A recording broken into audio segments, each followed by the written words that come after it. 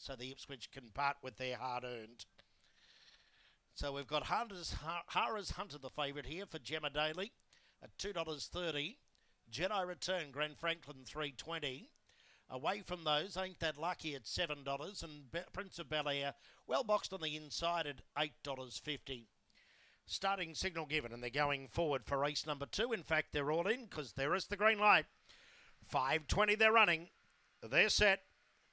Racing Hunter near last away. Well into stride. Jedi return. Petite Swagger. Here comes Lily Queen and aerobic system down the outside. Hunter, the favourite, was a faller at the first turn. Into the back and Jedi return the lap later. Going to second was Prince of Bel Air. Two away third Lily Quinn, followed by aerobic system.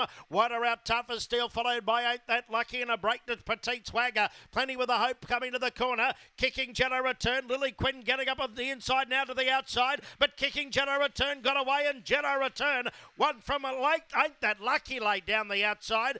Then tough as steel, followed by Lily Quinn aerobic system. Prince of Air, well back in the field, Petite Swagger.